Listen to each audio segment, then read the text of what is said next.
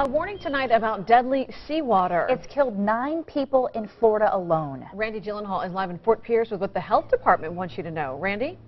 Well, you know, Tiffany, this bacteria is nothing new. It pops up every year and it's fatal in about 50% of all cases. Usually people get infected by eating raw oysters, but this year, more and more, we're seeing people get sick by just wading out into the open water.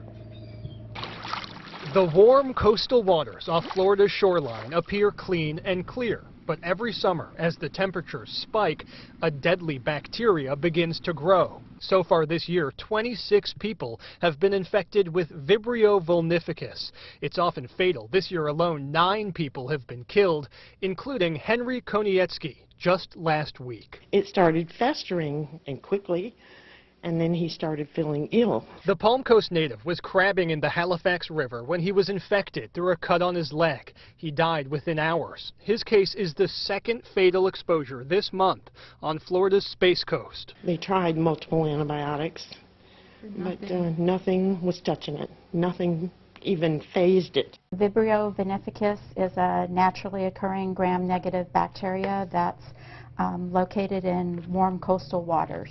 Health officials on the Treasure Coast say they're monitoring the situation. So far, just one infection in St. Lucie County.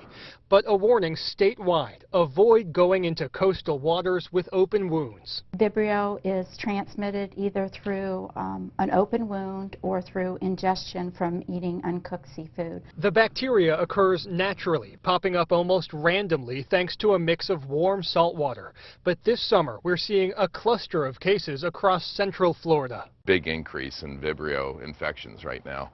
And um, you know, it is kind of a warm water thing, and we've had some warm water, but we didn't have this last year or the year before, not nearly as many.